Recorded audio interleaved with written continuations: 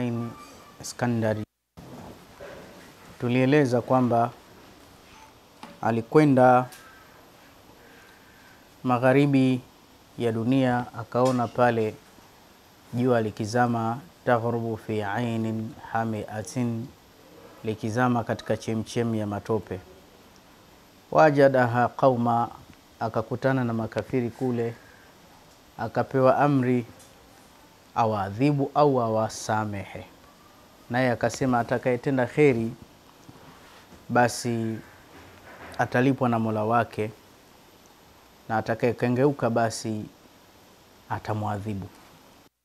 Na habari zote hizi na safari zote Allah anajua. Kisha akaenda upande wa pili wa magharibi ya jua, mashariki ya dunia, Dhulqarnain. Baada ya kwenda pale, akakuta jua linachomozea watu ambao hawajawekewa kizuizi. Kusogea mbele tena, akakuta milima miwili, nyuma yake akaona watu. Hawa watu wakamweleza, ewe Dhulqarnain, inna yaajuja wa maajuja mufsiduna fil ard, hakika ya Yajuja wa maajuja wanafanya uharibifu katika mgongo wa ardhi. Waonaje tukupe chochote kitu ili uweke kizuizi baina ya, baina, baina ya sisi na wao? Naye asema makanna yale ambayo amenimakinisha Rabbi, mola wangu mlezi, yani yale alionipa khairun, ni bora, isipokuwa nyinyi ni azimeni nguvu zenu, tushirikiani baina yenu. Atuni zubera alhadide, taliletea vipande pande vya chuma. Kifupi, akautengeneza ukuta mkubwa ambao umetokea Babil mpaka nchi ya China wamastatau an yadhharuhu wamastatau lahu naqba, alitengeneza ukuta ambao tufari lake la chuma nchi, tofali la kawaida ni nchi saba, lile ni nchi ni mita tano, tofali moja. Lile kuta mpaka leo lipo, ukienda zile pande zile katika nchi za Babiloni. Baadhi wanasema ukuta ulitengenezwa na wazee wa zamani wa China kutenganisha vita lakini wengine wanasema ndo ukuta aliotengeneza Dhulqarnain, na akasema hii ni rehma ya Mola wangu. Faidha jaa waadu rabbi, ikisha kuja ahadi, yani ikisha kuja palapanda siku ataupasua ule, utavunjika. Wakana waadu rabbi haqa, na imekuwa habari ya Kiyama ni habari ya kweli kabisa. Kwa hiyo tumeona ni mwenye pembe mbili usoni mwake, tulisema ana nyama mbili zimevimba zimekaa kama pembe. Lakini Dhulqarnain wengine wanasema kuitwa pembe mbili ni ile pembe ya kwenda mashariki pamoja na magharibi, na tumeona jina lake halisi ni Alex au Alexander au Iskandari, vitu kama hivyo. Na huyu ni mja mwema, na ongeze jambo katika dunia hii sema kuna muumini wawili matajiri mno na makafiri wawili matajiri mno. Miongoni mwa matajiri wawili Waislamu waumini ni huyu Dhulqarnain na Nabii Allahi Suleiman. Nabii Suleimani alikuwa anatisha, japo naye alishawahi kufitinika juu ya ufalme wake. Ana pete yake ime, imeandikwa jina la Allah.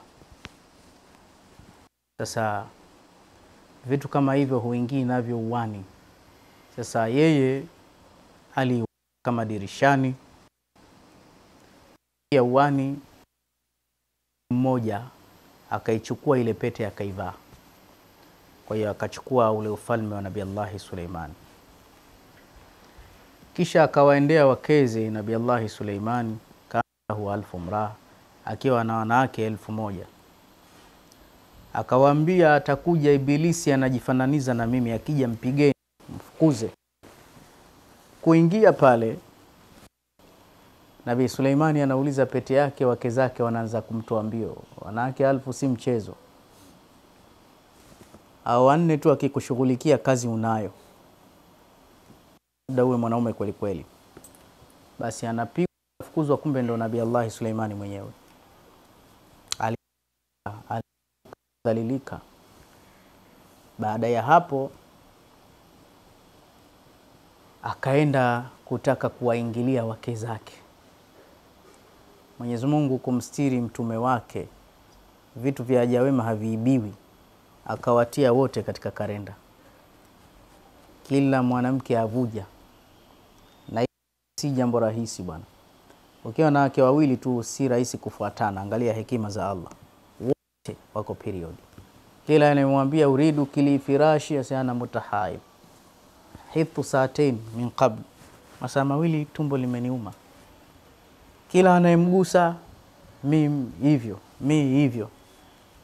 Mwanaume akaamua maamuzi, njoeni tu hivyo hivyo, aina neno hivi hivi. Inna llaha yuhibu tawabin wa yuhibbu lmutatahirin, Mwenyezi Mungu anawapenda wanaotubia na watu wasafi. Wakagundua huyu si Suleimani ibn Daudi. Nabi Allahi Suleimani hajawahi kututaka tukiwa wachafu. wataziru nisa fi mahid hata yatuhun wa idha tataharna fatuhunna min haithu amarakum Allah inna Allaha yuhibbu tawabina wa yuhibbu lmutatahirin nisaukum harthun lakum fatu harthakum man ashitum. Naona vitu hivyo isnau kulla shay'in illa nikah. Mtume asema fanyeni kila kitu michezo, ila msifanye ndoa. Au ma fauqa izara, juu ya msuli, juu ya kikoi, mambo mengine huko, lakini chini huko mwiko. Mm. Wachafu. Lakini Mwislamu mzima msafi anamwendea mke wake katika hedhi, itabidi utoe fidia kwa bulughu imeelezwa kiasi chake kule, fidia utoe.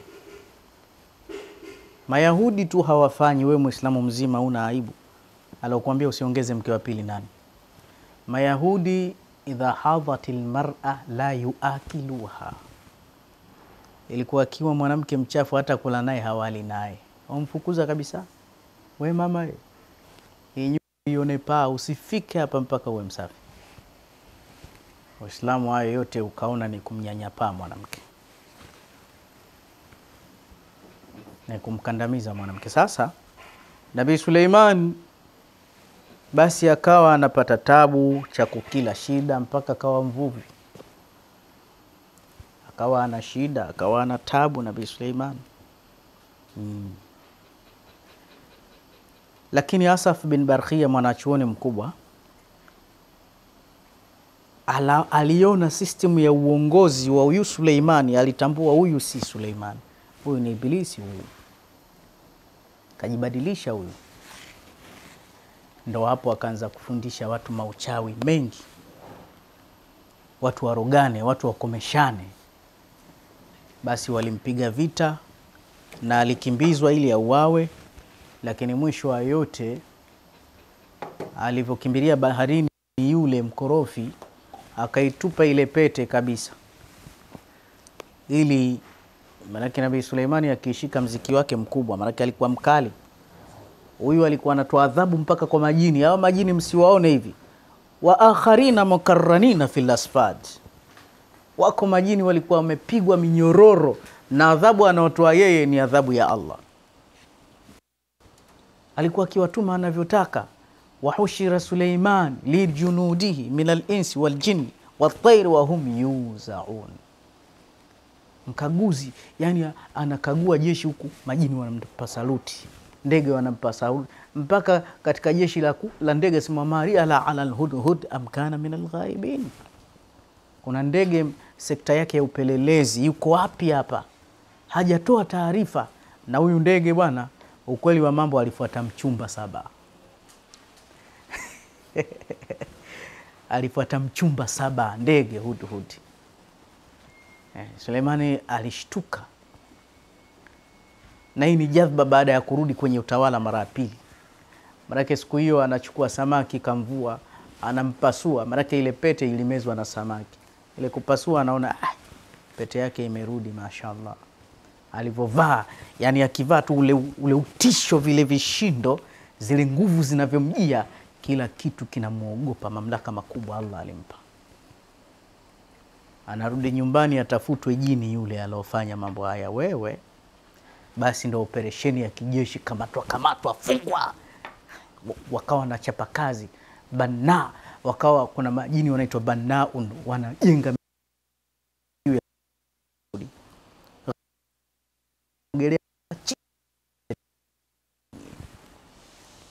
Mfalme Suleimani karudi, yaani ilikuwa akisimama akipita, yani wanatetemeka majini, kapita mwamba. Mwamba kweli, kwa sababu adhabu anazozitoa ni adhabu za Allah. Kwa hiyo kuna majini, alifungua selo ya majini. shangazi majini wanatutesa bwana. Alifungua selo ya ma... akharina muqarranina fil asfadi, kwa vyuma majini, fanye mchezo. Wana jamani, mwambieni Suleiman aje atutoe. Njaa huku jamani, adhabu.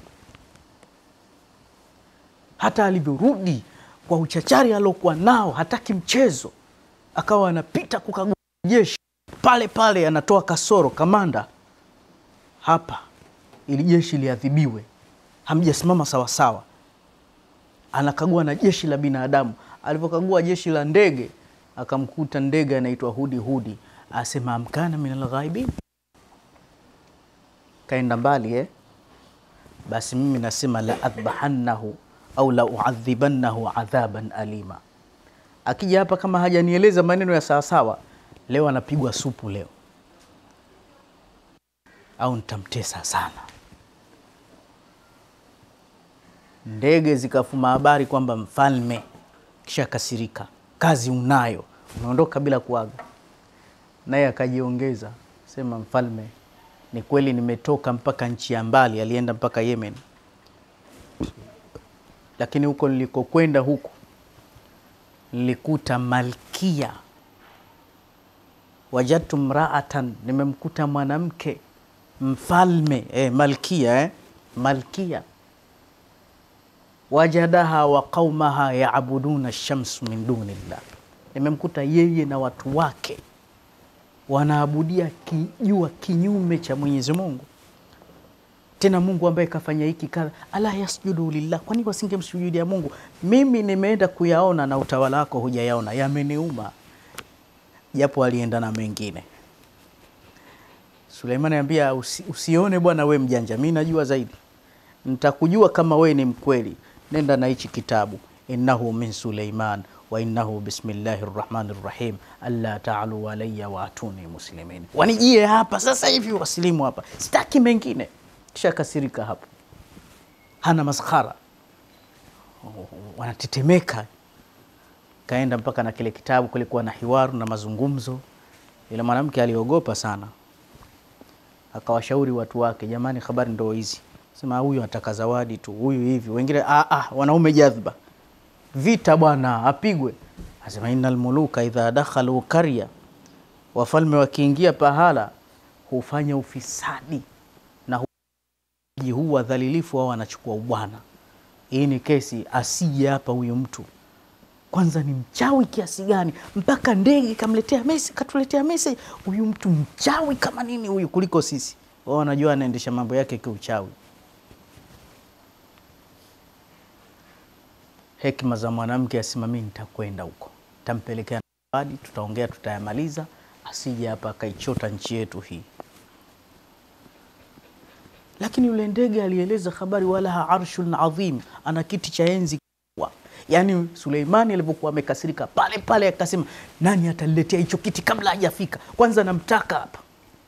Na alimwambia yule mwanamke, usipokuja hapa kusilimu hapa kusalim amri nitakutumia jeshi la kibala laha, mwanzo wake upo kwako, mwisho wake upo kwangu. Nchi nzima ya Falestini itatoka kwa ajili yako, kwa hiyo lazima ufike hapa. Oda imetolewa hapo, karudi serious.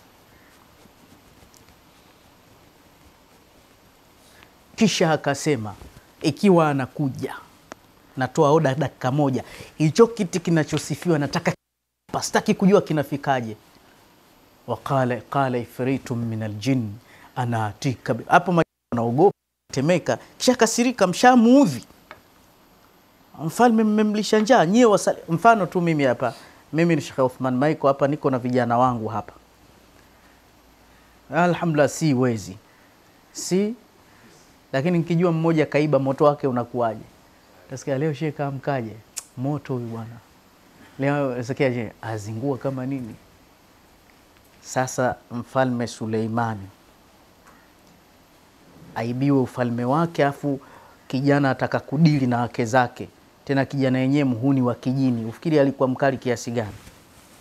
Ndio maana ukaguzi eh, operesheni ya nguvu. Hudi Hudi ameponea chupu chupu kuchinjwa. Je, yule jini aliyoyafanya hayo ufikiri amefanyaje? Ilitolewa oda moja kwa moja motoni, moja kwa moja akachomwe.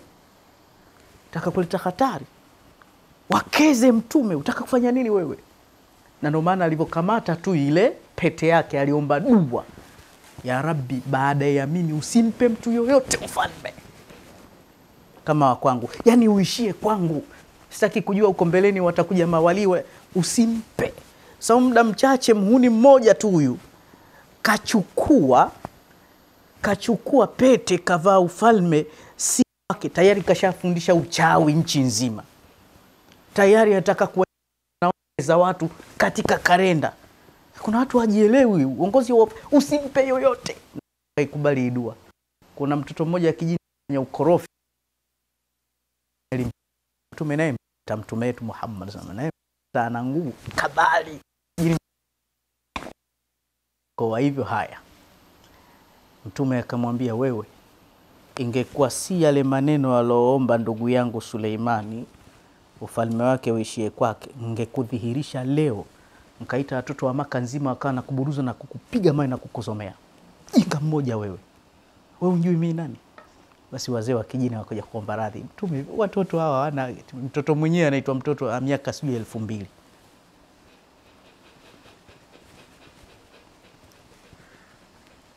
Naam.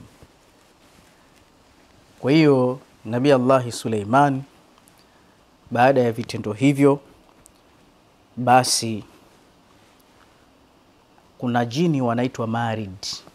Maridi ni majini wadogo, lakini wana nguvu lakini majini wenye nguvu kuliko majini wote wanaitwa ifrit, au wana nguvu, wanaweza kutikisa milima hawa, na wana kasi na wanakwenda mpaka mbinguni kwa kasi ya ajabu. Ifrit, qala ifritu min aljin, ile kuogopa. Maanake watu waachelewe, nataka kiti chake, si unajua ashaka Maanake dakika mbili hachelewi.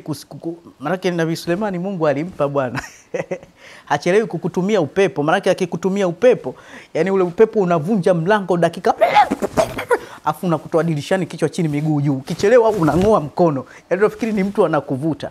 Kwa hiyo haeleweki huyu, maanake ni rafiki mpaka majabali. Babake alikuwa akisoma ile Zaburi, majabali yataka kung'oka yakasikilize kuna manyama yanaitwa magodizila na nyoka wa shaba wa. Anatoa gesi midomoni, yote ni zake. Mijini ile mikubwa ile ukubuhu, wote wanamtambua. Kwa hiyo oda yake ikitoka, wewe kumaliza ni sekunde tu. Kwa hiyo jini mmoja, mimi hapa, maanake ukiuliza eh, bwana nani ataenda airport hapa, mbona hamjibu? Mimi hapa. Qala ifritu min aljinni anaatika bihi qabla an takuma min maqamik Jini hilo likazungumza mpaka vishindo, lina nguvu. Mimi ileta kabla hujasimama mzee wetu, na mimi kukileta ah, mimi qawiyun la qawiyun, na nguvu si kikubwa, wala harushun adhim, aminun, mwaminifu. Yani hapa anajitakasa kwa Suleimani kwamba sitokosea mkubwa. Bado Suleimani anagomba, yani unasubiri mpaka niamke? Mambo gani haya bwana? Manake navyo vitu vingi vya kutuma, sina shida. Uzembe gani wewe? Usubiri niamke hivi ndo kiti kisogee? Mimi nishasema mnakawia hata upepo wake. Manake ghuduhu safari ya mwezi anaenda sekunde mbili. Hebu angalia sasa, hata ndege za leo hazijafikia. Wana mchezoni eh? Wanamfanyia mchezo. Basi akaongezeka mwamba waqala alladhi indahu la an yartadda ilaika tarfuka. Suleimani, tupo bwana, mawalii na karama. Huyu anaitwa Asaf bin Barkhia. Huyo jini mzembe, mimi kileta hicho unaje biaqal fata ain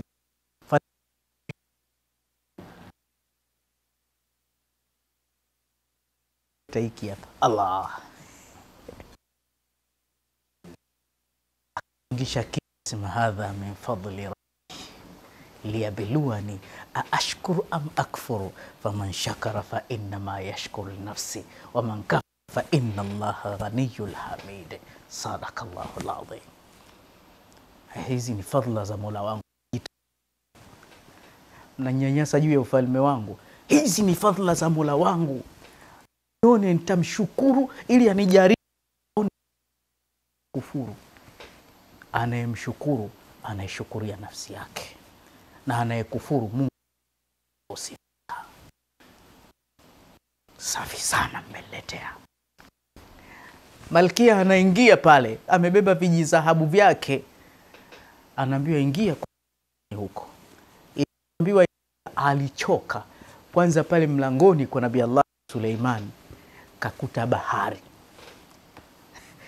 bahari ile bahari mnaiona kaikuta pale, anaanza kupandisha nguo zake, ambia pita, ambia nyie mtaka kuniua. Tena. huyo anayemwambia pita nina jini, ndo linaambia mama pita hapa. Kaenda kuona majini live. Na vindege vinjiwa njiwa, pita dada basi. Ah, yani ndo mapokezi istikbali hii. Alishangaa yeye, anafikiria uchawi. Wallahi hakuna watu wanga kama anakuta, yani kama ni paka wamejipanga mstari, yani wamekaa ile. Maanake Nabii Suleimani anatisha bwana, kila kitu kiki wahum wanamtii wanamheshimu. Kwa hiyo akakuta kuku kama amesimama mguu mmoja mmoja, saluti, wametulia wamejipanga. Leo kuna ugeni. Mama asema jamaa, mwanga huyu sijaikuona mchawi kama huyu pita, ambia hapo nitauawa mimi. Basi mabodigadi wake wakatangulia kukanyaga, Mama, so maji, tuache ushamba, hizi almasi hizi hajawai kuona madini kama hayo, atayaona wapi? Na wakati eh, majini ndo anaenda kuchukua chini ya bahari vitu kama vile wametandika yani, inaonekana basi. Mama akawa ah, kumbe huyu mwamba ana hela kiasi hii, tajiri. Kufika pale yeye mwenyewe kaona kwake kitongoji tu, si mji. Kuingia anakuta ndo pale majini, akuta sijui mbuzi, vyote vinamkaribisha. Maanake akiuliza yuko wapi Suleimani, sauti si moja, ana swali, anamshukuru mola wake. Mama akaona eh, hii kali, kumbe anamcha Mungu, yeye anajua mwanga kuingia kule mama kumwona mfalme Suleimani pale pale alitoa shahada, waslamtu ma Suleimani lillahi rabbil alamin, akasilimu. Kwani alivyosilimu Nabii Suleimani alichelewa? Hapo, akaongeza mke wa alfu ambia wewe wajikoni, wewe unaolewa hapa. Akasilimu, akasilimu. Sasa wakati anafanya gwaride lake na ule utukufu wake, hata hata wala wadi namli waqalat namlatun ya ayuha namlu dkhulu masakinakum la yahtimannakum Suleiman wa junuduhu wahum la yashurun. Gwaride linakwenda linapigwa namna kama hii, wakati anakwenda na ile skwata ya gwaride jeshi linakwenda la majini la ndege, naye anakagua. Kisha wakati anakwenda na ule msafara akasema stop. Alikuwa makini sana, alivyokuwa stop kasimamisha msafara, maki alikuwa anafuatilia kesi ya kila kitu. Kaona ndege mmoja anachuma chuma maua anamlisha mwenzie. Suleimani kaatolea macho hivi, afu akamwambia yule ndege mmoja, huna haya we, una aibu wewe, taka kumharibia mtoto wa watu maisha yake wewe Kajua hada na ujanja ujanja upo kwa watu mpaka ndege. Askari wasubiri waambiwe tafsiri, Naambia huyu ndege muongo huyu huyu. Tena alivyomwona Nabii Suleimani, sasa anasema tu, mimi nakwambia. Basi baada pale namkonyeza ndege mwenye, nyamaza bwana, soi, nyamaza, nyamaza. anamwambia kubali kuolewa na mimi maidia. Angalia ndege hao, yaani nje ya hii Palestina na bonge la kamjumba, nitakuweka kwenye jumba hutoamini. Suleimani ambia, we una nyumba zaidi ya kiota, we nyumba ulipate wapi we? Na we unaongopewa huelewi. Basi watu wakacheka sana. Msafara wake unakwenda mpaka akafika katika majumba ya dudu chungu, ile sisimizi sangara. Sisimizi mmoja akasimama akawa anatangaza ya ayuha namlu, jamani, sisimizi ye udkhulu masakinakum, jificheni chini, atakuvunjeni vunjeni Suleimani na askari wake. Kuna msafara naye atakuwa hahisi chochote. Fatabassam dhahiqan min qawliha, akasikia yale maneno akatabasamu, akacheka Ala, asema rabbi auzini an ashkura ni'mataka, Mungu niwezeshe nishukuru neema yako. Mpaka vijidudu kama hivi. Akaambia msiwe na wasiwasi, eh bwana, msafara upite huko, aingieni basi. Make watu wanaambiwa jifiche, chengine kinachungulia yuko wapi? Ingieni, si mshaambiwa? Haya, hapa. Msafara unaenda mpaka kuomba mvua. Wakati anakwenda kuomba mvua, njiani akakutana na Alankabuti, tandabui wale tandabui mmoja alamika, Suleimani, sisi tutakufa, mvua hainyeshi, watu wanafanya madhambi tu na nini na nini. Sasa hamuoni kwamba tunaenda kuomba dua? Ambia tushaomba sisi, tumeamka mapema, si ilitangazwa jana, si tushaenda, tushapiga istisqa yetu, tunarudi. Suleimani akaambia msafara, turudini, hamna ukame. Sinaenda kuomba kafaa kumududu, kafaa kumududu, ishaombwa tayari na tandabui hapa. Kurudi nyumbani, mvua inanyesha. Unaona mchezo? Sasa siku hizo akaona ajenge msikiti Baitul Maqdis, majini wajenge. Akawa amesimama na bakora yake, amesimama anasimamia msikiti kwa madhubuti mkubwa. Majini wanajenga, yani kwa presha, welete mndoo, welete maji, wanajenga, naye ana uchungu, msikiti wa Mungu. Kumbe pale pale karibia miezi kadhaa, roho yake ishatoka Mfalme Suleimani na ardhata lakini mchwa wale walikuja kuila ile bakora yake, ikaliwa ikaliwa, basi ikavunjika, akadondoka. Ah, tunapata tabu yote hii rafiki yangu, kumbe kisha kufa mwamba. Sasa uroho wa watu cha mwanzo, kwa sababu ile mivitabu aliokuta nayo aliifukia ardhini kuificha ile, basi watu walienda kufukua fukua, waangalie, hebu hebu hebu nini, watafuta uchawi. Wanasema waliikuta imeoza yote walikuta kijipeji tu kijikaratasi ndo kilichobakia dunia nzima. Je, wangekuta karatasi zima au wangekuta kipande cha msaafu? Si balai. Lakini hapa hapa kuna watu wanapaa hewani, hapa hapa watu wanawana Kuna sihiri inaitwa sihiri inaitwa sihiri uh, babu lfarqa walbughdha watalaqun, mlango wa kufarikisha na kutoa talaka kwa lazima na kutia chuki.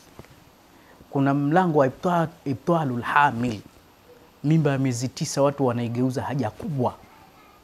Hatari sana watu hawa. Kuna mlango wa majrul mahaba, kumlazimisha mtu akupende kinguvu. Akinywa maji anakuwaza wewe, akiingia ndani halali. Unamuoa mtu kwa dhulma namna kama hii wewe ukimwona mtu unampenda sana mpaka una, maanake kuna watu nashangaa, yule kaka alikuwa namchukia, nampenda. Maanake mtu kakutongoza mara ya kwanza, tuna ukome ni wakuolewa na wewe, nani pishe wakuolewa na sisi, ushamdharau. E, unashangaa siku mbili tatu mtu kafanya kukuaga, utanitafuta we, una kiu, unamwaza yeye yule kaka, nashangaa mi simtaki, sijui nini sijui nini. Baadaye mkija kujua, kumbe kuna dawa zake anazimeza kooni. Kuna watu wanaziweka dawa hizo kooni za kiasili, akikupa maneno mawili utoki wewe, yani unayafanyia kazi, uko tayari ufe. Mimi bwana, sasa ukishaona hali hiyo, mapenzi yana mpaka mtu hajiamini. Mimi mwenyewe najishangaa, nampenda sana. Unampenda? Sijui tu, mi naona nampenda tu. Nenda kafanyiwe rukia wewe nenda kafunyiwe rukia wewe. Na uchawi una tabia ya kuexpire, lazima mtu arenew. ndo unakuta baada ya mwaka anaenda kurinyu yule mchawi wake kafa, ndo unaona mapenzi yanachujuka. Ushaza naye lakini umtaki tena, nipe talaka yangu, sijui kwa nini niliolewa na wewe. Vitu visha expire, visha kufa vitu, naona mchezo uchawi huo. Nakuta mtu anatengeneza chuki ya ndoa ya mtu. Unajua maneno wanayoyasema mabaya, akiingia ndani amuone mke wake kama kima na mke amuone mume wake kama nguruwe, basi watu wanaonana hivyo. Akiona mume kaingia ndani, yeye atoke nje, akimfuata nje, yeye aingie ndani, ndo watu huteta, hawaelewani. Allah kathibitisha wayataallamuna ma yufarriquna baina almar'i wa zawji. Tutakuja kukisoma siku moja, maanake alipata jadhba za kheri. Ana farasi ambao farasi wake wazuri arobaini wazuri, yaani ukiwafungua asubuhi saa moja hapa, saa nne wanaingia Morogoro na Abudi. Waladiyati dhabhan, ile mipumuo yao wakilia zinatoa filimbi huku pe pe. Sasa wale ukiwatizama wanasimama vizuri, wanalinga. Alikuwa nao arobaini hao basi alikuwa akikaa na shangaa, wakiona watu malingo wanamfurahisha. Sasa akawatizama, muda wake wa uradi ukampita, akawachinja wote, akawachinja wote. sio wataki tena, wameshughulisha na dhikiri yangu. Kwa hiyo siku tutaeleza alivyozaliwa na mambo yake mengi na mpaka alipofia insha Allah na vurugu zake, na tuone alizaa watoto wangapi.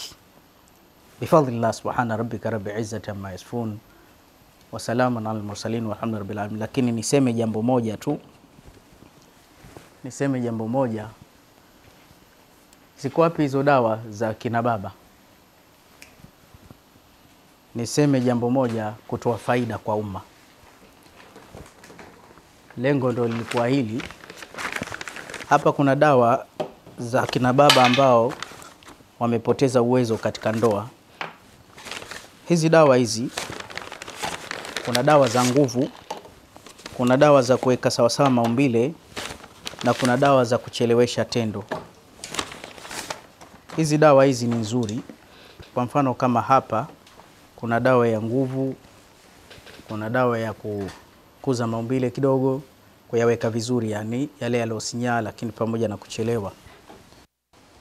Rudia tena dawa hizi za nguvu hizi tena, hizi zote ni za nguvu hizi, na ziko zingine zaidi ya hizi. Hili tatizo lipo, lakini leo nilielezee kwa upande mmoja tu.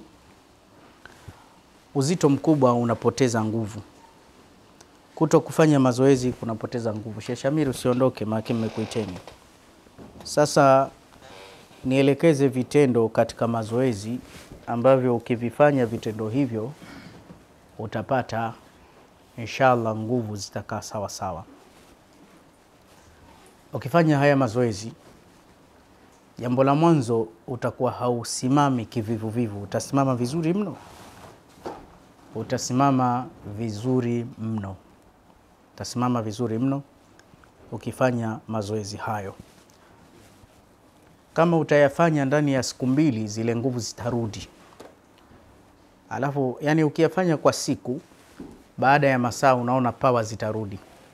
Ukiyafanya siku ya pili, utaona zile pawa zimerudi, lakini unachelewa kusafiri. Alafu ukiyafanya ndani ya wiki, utakuta lile tatizo limeisha kabisa. Na uzoee mazoezi hayo, ujizoeshe mazoezi hayo. Na changamoto hii inakuta wale watu ambao wanakaa tu maofisini, hawafanyi hata kazi saidia pamoja na dawa, kwa sababu ndo maisha yenyewe. Mimi ni mtaalamu wa mazoezi na nishachezesha muda mrefu sana mazoezi, lakini si kila mazoezi yanaleta hizo stronger, na si kila mazoezi yanapunguza uzito, mengine yanaongeza uzito vile vile. Ni kuonye tu vitu viwili: punguza vyakula vya mafuta, kula bila kimeme, lakini vitu vitamu vitamu pia vipunguze.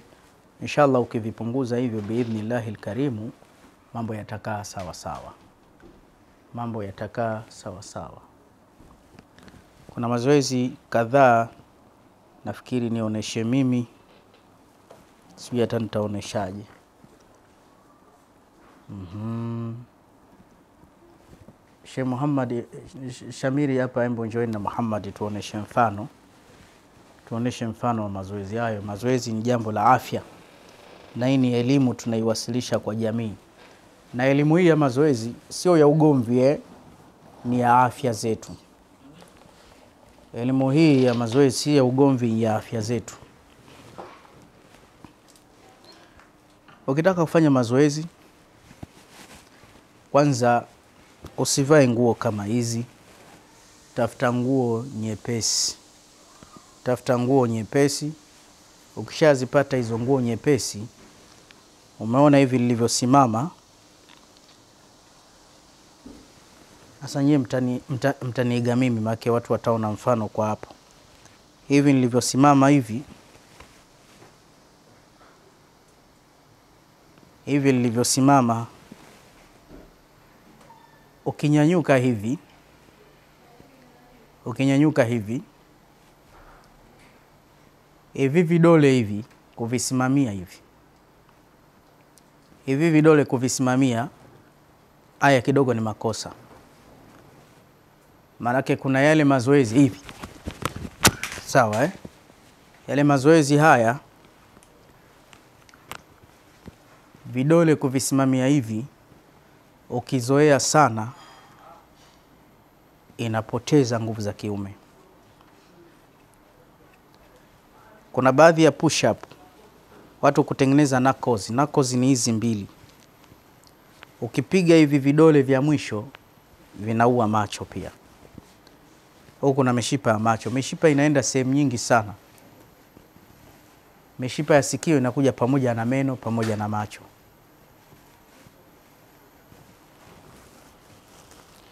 Kuna kauli tutaifanyia kazi, lakini wacha tuiseme kwamba Sayyida Fatimati Zahara radhiallahu taala anha alishtakia nguvu za mumewe Saina Ali nyingi, mpaka anashindwa kutahammali na anataka kumridhisha, ikabidi huyu hekima yake apewe mbuzi ya mchune. Sasa kuna mkao ule wa kuchuna mbuzi, unanyanyua vidole.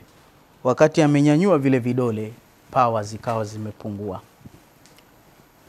Kwa hiyo katika kula chakula kisunna kuna mikao ya aina hii, kuna mikao ya aina tatu. Sawa jamanini, kuna mkao wa aina tatu ili ule chakula kisunna, ila mkao wa tatu ni mkao wa dharura, sehemu yenye maji. Sisi Waislamu mambo yetu mepesi, si lazima ule eti sehemu soft, hata sehemu kuna maji na matope, tuna mkao wa dharura sehemu ya vita tuna mkao wa dharura. Mkao wa dharura ili ule hivi hivi ulivyo, unaona, angalia na chutama hapa. Ukichutama hawataki uchutame hivi, taka ukae hivi moja kwa moja, ukae hivi, kwa sababu ukichutama mwingine atachutama hivi hivi, vidole tayari ushavinyanyua hivi, ili pia ni kosa hivi. Takiwa unachuchumaa, lakini utaitanua miguu hivi, ndio utaweza kukaa mpaka chini hivi, mpaka chini pale unapohitaji kula mkao wa dharura tulivyofundishwa, huwezi ukanyanyua hivi kwa sababu ya athari hizi. Kwa hiyo katika mazoezi haya ya kujipa nguvu, usinyanyue vidole, kaa hivi. Anza na squat kwanza. Hii mikono yako miwili unaifanya hivi, hem, twende hivi hivi. Hapo umebana miguu. Ukibana miguu, bana mguu tu, unakuja mpaka hivi chap Umeona hivi unavyokuja, usitanue mguu hivi, unabana hivi. Ukibana hivi utasikia huku kunalia tap. Kwa hiyo unakuja one two, na usiiname hivi, unakuwa hivi. Ili upate balansi ya kushusha visigino. Kwa hiyo unazipiga hizi one two, angalia pale. Sasa, inakwenda hiyo, unapiga kumi. Ukipiga kumi, unakuwa una relax hivi. Una relax hivi kidogo, unapiga kumi, unarudia tena, unapiga kumi ya pili, una relax. Kwa siku ya kwanza unapiga ishirini. Ukishamaliza unakuja upana huu, unasimama hivi. Ukishasimama hivi, ingekuwa ni yale mazoezi kwa ajili ya watu kupiga teke kama hivi pap, ndo huwa wanafanya hivi, lakini kama sio hivyo, basi hivi tu hizi hapa zikitengenezwa, kwa sababu hizi ukizipiga hivi zikikaza, nguvu unakuwa nazo, lakini si kali, zina balance. Ndo maana wale watu ambao hawajaoa wanaambiwa wafanye mazoezi kupunguza hisia, wanapita piga zile squash za hivi. Hasa anaambiwa asimame hivi, afu anaambiwa weka vidole hivi. Kwa hiyo anashuka chini, anashuka ambia stop hapa, basi unakuta paka miguu inatetemeka, ambia stop, afu yule anaanza kuhesabu moja, mbili, hus, tatu, hu, Cares? Me. hivyo mfano wake. Lakini hizi za kiutuzima kuweka mwili vizuri, ndio sehemu kubwa inayotegemewa sana kuamsha hisia kuliko sehemu yoyote, ambayo sehemu yenyewe, mtendeni hivi mashekh, unashika hivi, ukishika hivi unaenda ya kwanza. Moja, mona ya pili, pili, tatu, mpaka ukishapiga kumi una relax, unarudia tena kumi. Ukishapiga kumi ya mwisho unaganda kidogo zitengeneze ile misuli, ila kama ni siku ya kwanza utakuwa huwezi, unaweza ukashika sehemu hivi. Afu ukawa unashuka nayo unasaidia na mikono. Sababu mwingine ana uzito mmoja, akipiga moja anakuwa ana hema. Na tungwa inamchoma. Itakiwa usiwe umeshiba sana na usiwe una njaa sana. Hii ni take two katika kuweka hizi sehemu hizi ili mtu kupata hisia. Halafu kuna mazoezi ambayo mtu akiyafanya yanatahariki mwili wote, yanatahariki mwili wote. Katika mazoezi hayo ni mtu pale pale tu anakuja hivi, moja, mbili, tatu, nne, tano, azipige mfululizo thalathini afu apumzike, utakuta jasho lile linamtoka. Mazoezi mengine sasa ya kupunguza hayo mafuta, kuyakata dakika moja. Haya mazoezi sikuandaa eneo, lakini nitaka nikuoneshe na baadhi ya afaalul khamsa, vitendo vitano, sio vitendo vya, vya nahau. Maana kule kwa nahau kuna faalul khamsa, kuna vitendo vitano au kuna majina matano, kuna faalul khamsa, kuna hatua tano. Naona mzee Abubakari kule hajakubali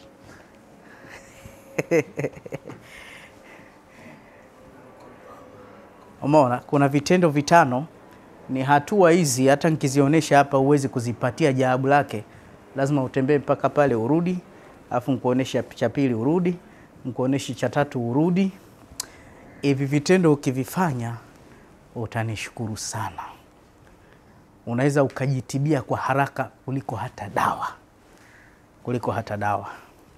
Kwa hiyo leo itabidi tukomee hapa. Chukueni hayo matatu, kwa sababu pia nikizidisha vyote mtasahau eh. Na usifanye zaidi ya hizo ishirini, kwa sababu ukifanya hivyo itafikia stage utaona mapaja yanauma, yakiuma pia utapoteza zile hisia. Kwa hiyo tutayaonesha mengine, wakati huo unakuwa unatumia sasa dawa za kisunna kama dawa ambayo iko na asali kama hii na dawa zingine zenye mambo kama habasoda na jinja na tangawizi. Alafu baada ya hapo tukuelekeze na vyakula ikiwemo ndizi, ikiwemo matunda kama komamanga, maparachichi, ikiwemo kinywaji kama asali. Hivi itakuweka utakuwa imara, utailinda ndoa yako, itakuwa na heshima na watoto utawapata.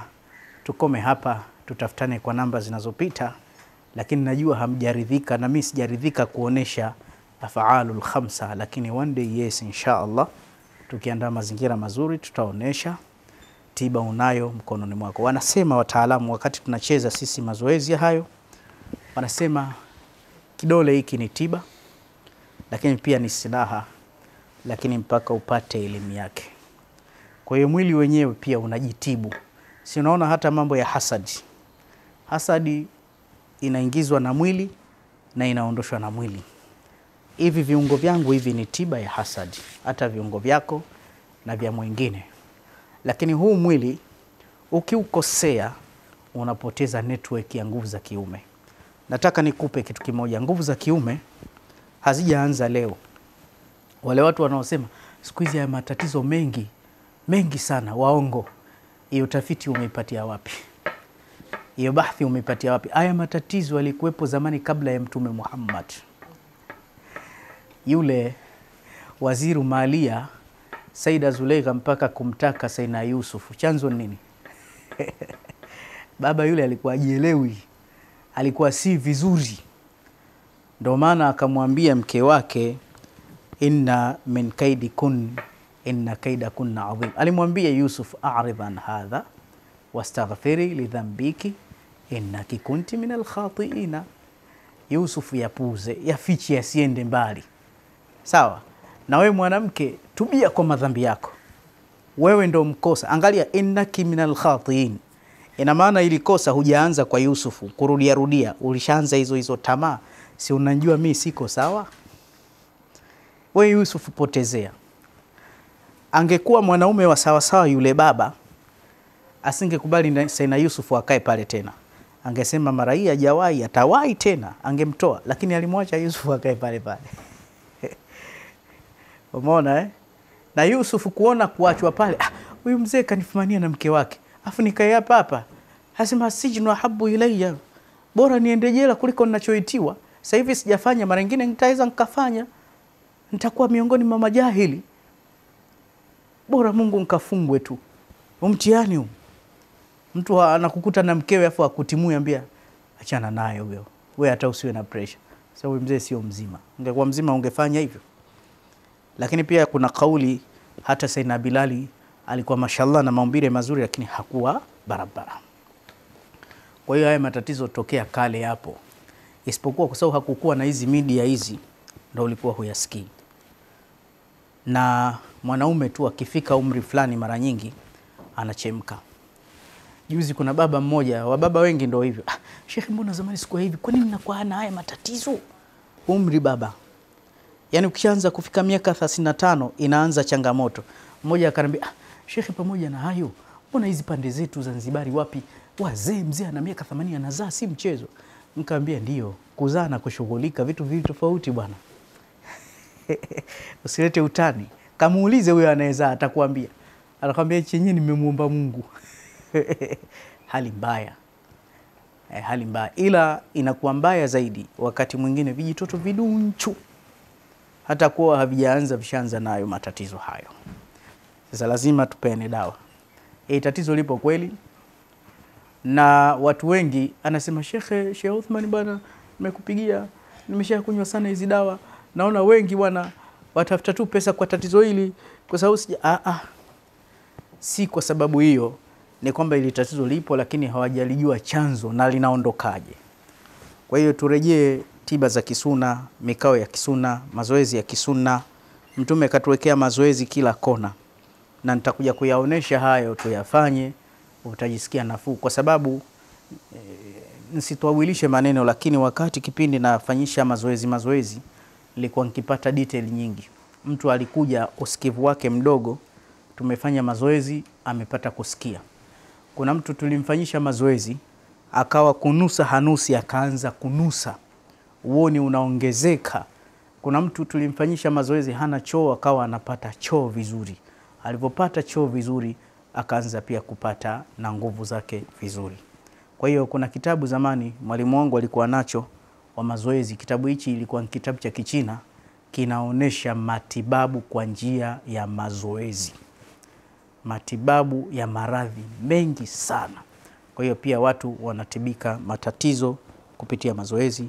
La mwisho la kufunga maneno, ukifika fukwe kama Jemkana, Coco Beach, utakuta wazee wanakimbia eh, utakuta vijana wanakimbia, wamama wanakimbia, utakuta kuna mlemavu naye anakimbia. Si amri yao, unakuta amefika hospitali akaambiwa, sasa wewe matibabu yako ni mazoezi. Kwa hiyo kuna baadhi ya watu wakifanya mazoezi presha yake inakuwa nomo, akikaa hivi anapata athari kubwa.